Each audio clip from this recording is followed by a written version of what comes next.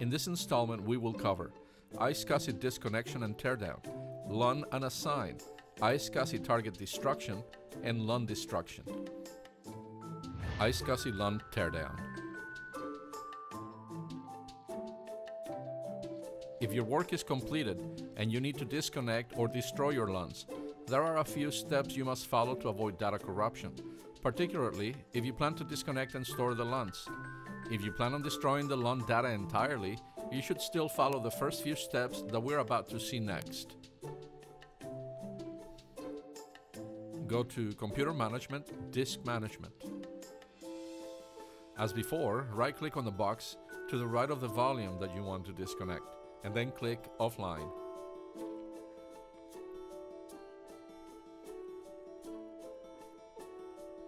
The disk is offline. Note that the disk no longer shows in the computer's list of available disks. And as far as the computer disk manager is concerned, it is there, but offline. Let's quickly bring the other disk offline.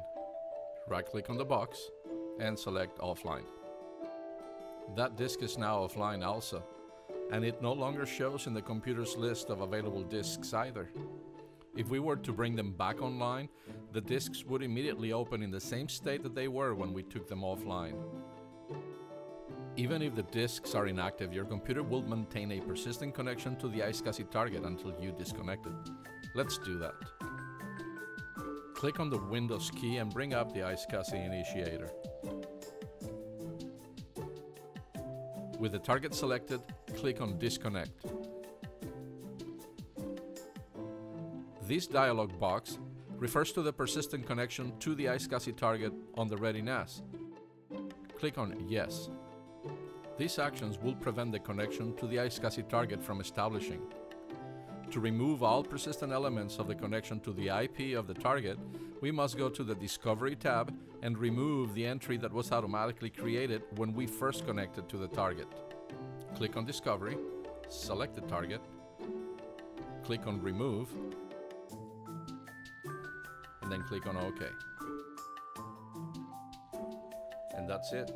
That eliminates all traces of the connection. iSCSI LUN unassign.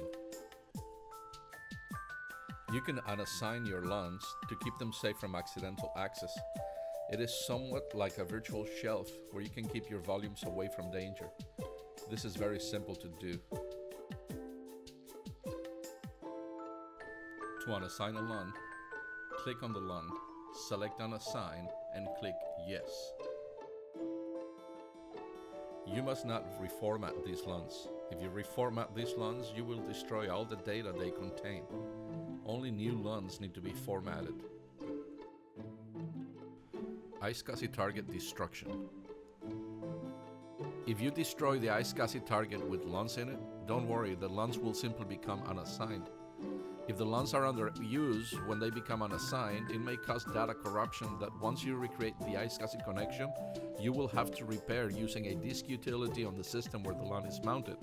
It is important to bring the LUNs offline to avoid data loss.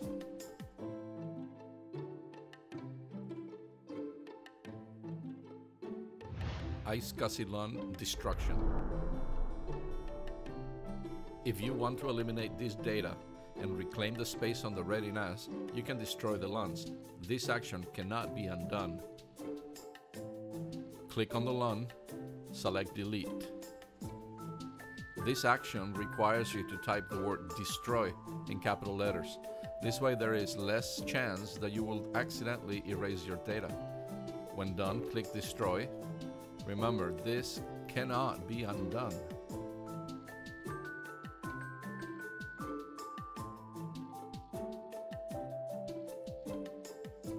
On a later installment, we will create iSCSI targets with secure connections.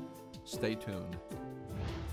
For more information on this and other topics, please visit community.netgear.com.